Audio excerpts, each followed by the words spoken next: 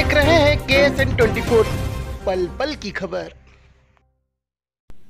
नमस्कार, मैं हिमानी सिंह और आप देख रहे हैं K S N twenty four. K S N twenty four की खास बुलेटिन में आपका स्वागत है। आइए नज़र डालते हैं इस वक्त की बड़ी खबरों पर। कबीरधाम चिल्पी मानिकपुरी कबीरपंथियों के द्वारा 12 नवंबर को भव्य शोभा यात्रा निकाली गई।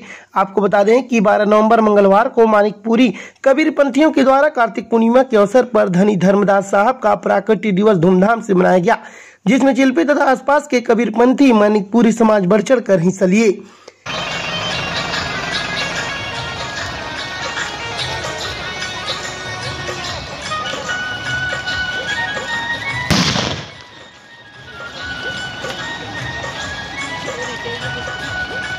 K S N twenty four news के लिए कबीरधाम से जीवन यादव की रिपोर्ट।